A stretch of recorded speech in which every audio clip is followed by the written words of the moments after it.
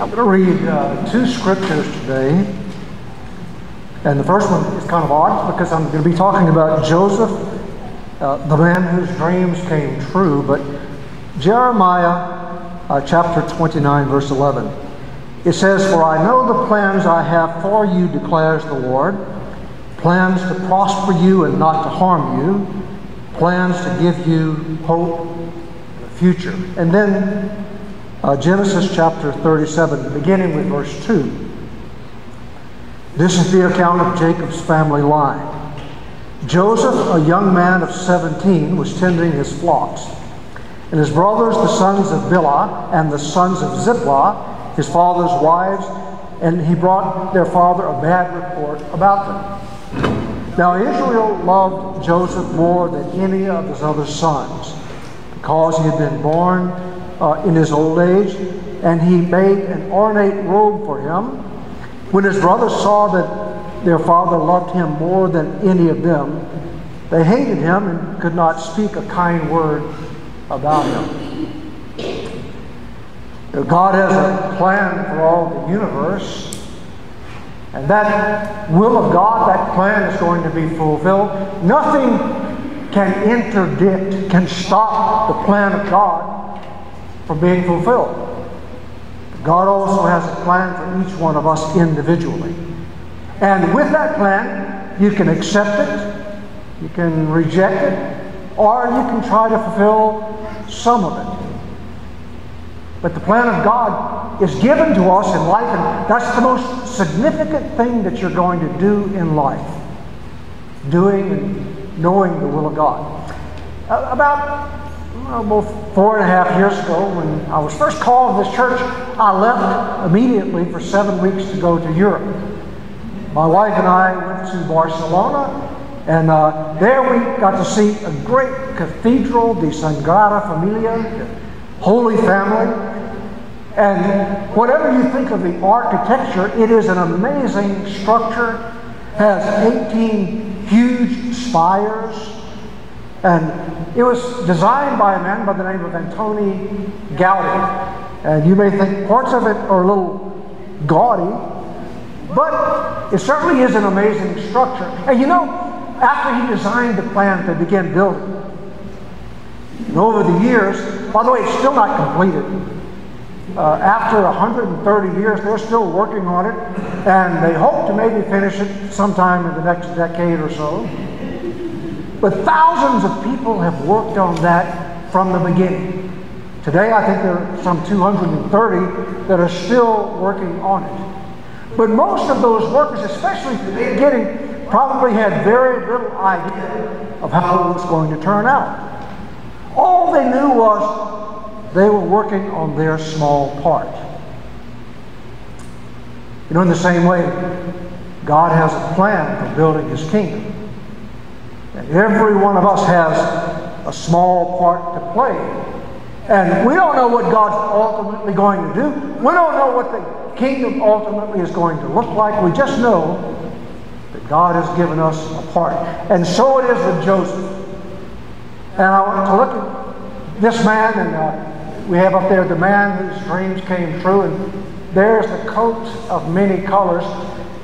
Some have said they really don't know what the translation of the many-colored coat was. It could be simply uh, an ornate coat, then that's how it's translated here.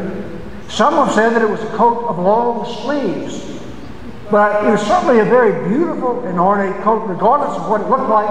And this is the coat that Joseph was given. So first of all, let's look at his hopeful dreams.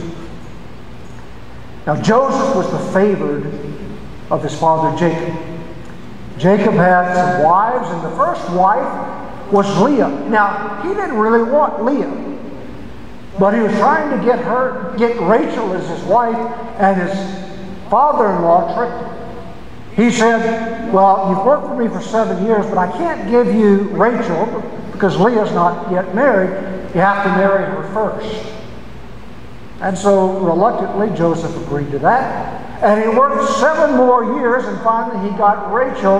And Rachel was always the wife that he loved, the favored wife. He had many children by Leah, but he had only two by Rachel.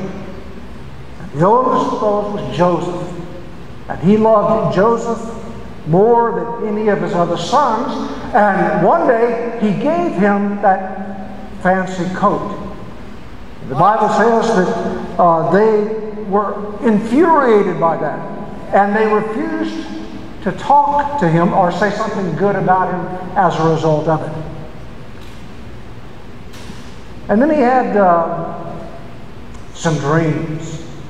One of those dreams, his brothers all had uh, sheaths of grain, and he had a sheath of grain, and the grains of the brothers bowed down before him, and he was unwise enough to tell his brothers what it meant. And they're saying, so one day we're going to bow down before you? Is that what you think? And then he told them another dream. The other dream was uh, there was the sun that probably represented Jacob, and the moon probably representing his mother Rachel. And then the 11 stars were bowing down before him. And so they were determined to do something bad to him. Now he was probably not wise to tell them that, but I believe that all of that was a part of the plan of God. You see, God had to reveal that to the brothers so that uh, Joseph's life would unfold the way that God had planned it from the very beginning. Probably wasn't wise for Jacob to indicate that this was his favorite son. Uh, it's not good for a parent to show favorites among their children. And so brothers were infuriated by him. Now, what, is, what does it mean by these dreams? Well, the, the gift was not the dreaming. Everybody has dreams. The gift was interpreting the dreams. You know, if you look in uh, history, dreams have been very important.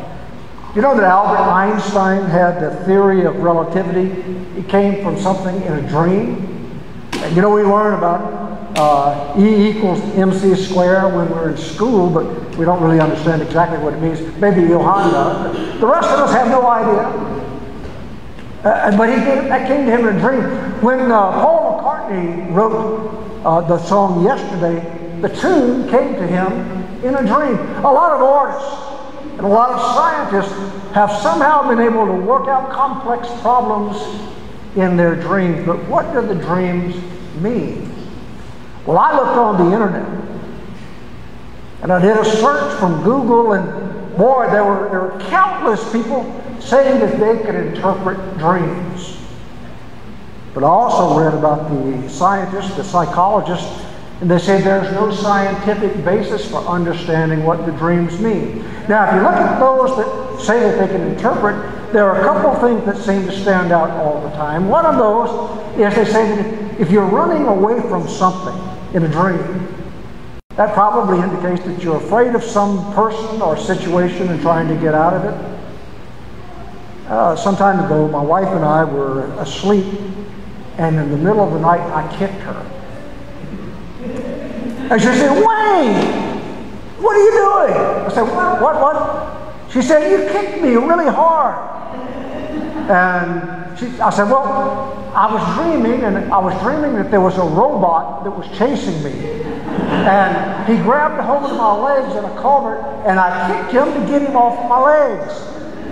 And she still brings that up to me after a long time. She, I don't think she's completely forgiven me for kicking her.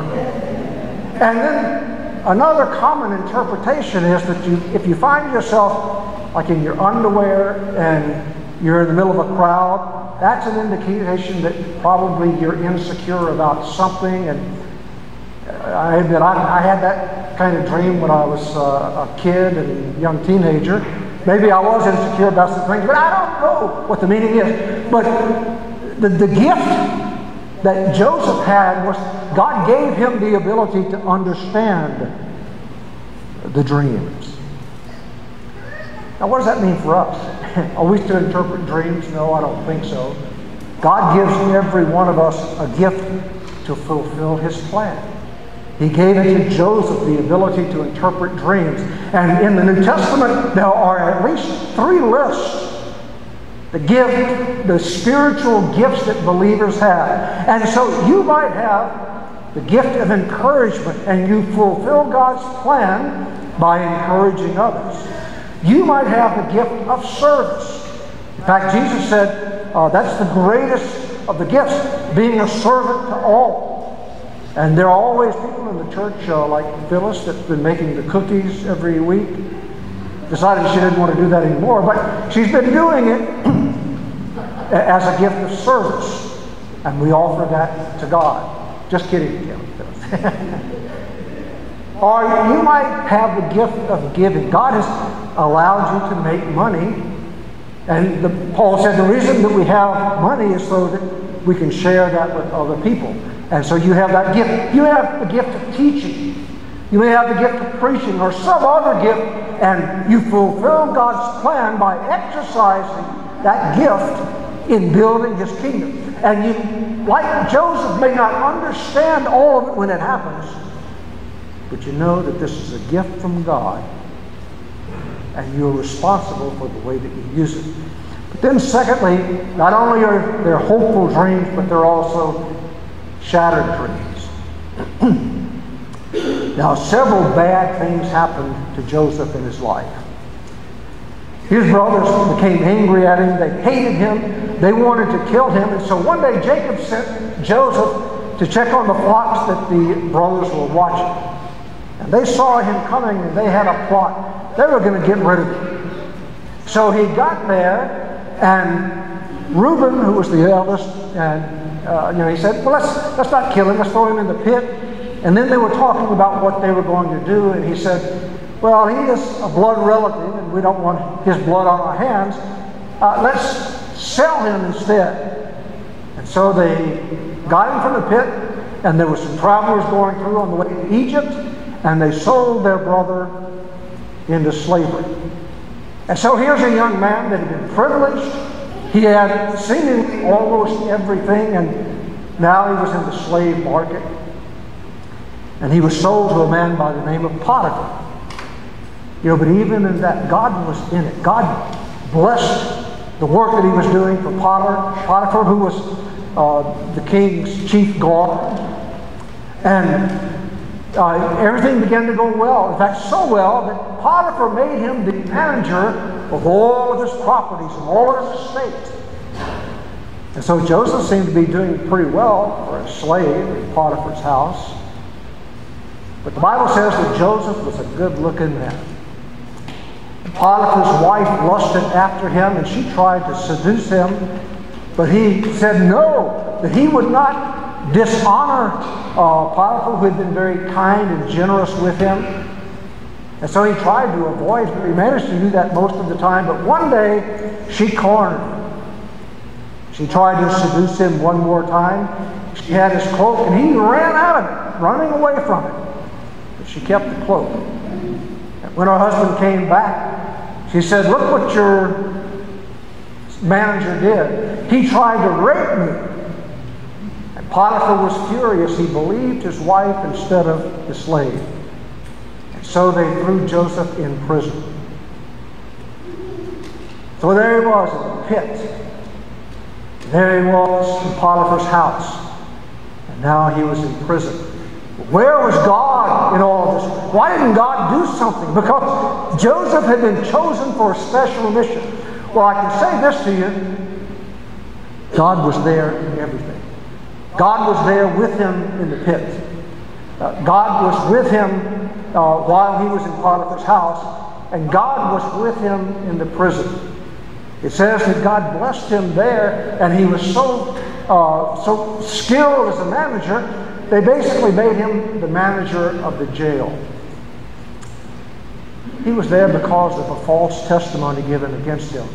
You know, I worked in the prison for some 15 years. And over the years, there have been some 375 people released from prison because the DNA evidence showed that they had been falsely convicted. Some 25 or so were on death row. They had been convicted of a crime that they did not commit. And that's only the ones that were released because there was some DNA evidence. I believe that there are many others that are there just because they had a public defender and the public defenders were overworked and didn't have time to fool with them. I, I, I was aware of one young man who was definitely guilty of a crime, but he got off because he had a good lawyer. Well, Joseph didn't have access to a good lawyer, so he there he was in prison. And while he was there, Pharaoh sent his baker and his butler to prison as well because of something that they had done. And they both had dreams. And Joseph's interpreting came out again. And he said to the baker, I've got some bad news for you. You're going to go back to Pharaoh's house and you're going to be hanged. And then he told the butler, Got some good news for you. You're going to go back to Pharaoh's house and you're going to be restored to your old position. But when you are, remember me, would you? Probably promised, of course, I'll remember you, but he did not. And so, in all of this, here's the message for us. That when we face difficulty, when life seems to be shattered, when we're trying to do the right thing and we suffer even as a result of that, know this that God is with you. One of the great names for Christ in the Bible is the name Emmanuel, which means God with us. Jesus promised, He said, Remember, I will be with you always, even until the end of the world. Whatever you're facing, He may not always take you out of that situation, but He's always going to be with you. And then finally, there are fulfilled dreams. Well, for two years, the butler seemingly forgot about Joseph and didn't say anything, but then the king had a couple of bad dreams. And he didn't understand them, and so he called his wise men to interpret them for him, but nobody could. And then the butler remembered, oh, there's this guy in prison, and he explained our dreams, and they came true. So the Pharaoh immediately called for Joseph. And he told him in the dream, in the first dream, there were seven cows coming out of the Nile River, and they were fat, fat cows, gorditos. And then there were seven, oh wait, seven uh, cows that came in that were skinny. And lo and behold, the skinny cows ate the fat cows, but they were still skinny. And then he had in another dream, and in that dream, there were seven grains, and they were plump and ripe, full. And then there were seven withered up grains, and they consumed the full ones, and they were still poor looking. And Joseph said, Well, the dreams are really the same. He said, Pharaoh, for seven years, there's going to be plenty in the land. A lot of grain, a lot of wheat. And then there are going to be seven years of famine. And so Pharaoh said, Well, what do I do? He said, Well, you get some wise men, and during the seven uh, plentiful years, store up all the extra in the barns in the various cities, and then when the famine comes, you'll have plenty for people to eat. Pharaoh said, Yeah, that's exactly what I need to do. And he said, You're a really wise person, so I'm going to put you in charge. And so he became the second most powerful man in all of Egypt. He was like the czar of Egypt, or like the admiral of Egypt. Whatever he said could be done. He had all this power. And so for seven years, he stored uh, one fifth the grain in the various cities. Then when the famine came, they began to release the grain. And not only was there a famine in Egypt, there was also a drought in Canaan. There was Jacob, and he believed Joseph was dead. And so he sent all of his sons except for Benjamin, the other son of Rachel, and they went to Egypt to buy grain. And immediately Joseph recognized them. But they didn't recognize him because he didn't look like uh, the boy that had been stripped down and was so young when he was sent away. He looked entirely different, but he knew who they were. And, you know, he had the opportunity to take revenge against his brothers. That would have been probably what most of us would have been thinking. They set him up, they sent him as a slave to Egypt, and now he had a chance to get back at them. Now he did take the time to teach them a lesson, but he did not harm them. He forgave them. And you know what he said to his brothers? He said, You intended all of this for evil, but God planned it for good, that I might save many people. He said, You know, you were all a part of God's plan from the beginning. And all the things that I suffered, all of my hardship came because this was God's plan. You know, it doesn't even indicate that he took revenge against Potiphar Potiphar's wife that had been a false witness against him, causing him to go to prison, he forgave. It was part of God's plan that we would forgive people, even the ones that are hard to forgive.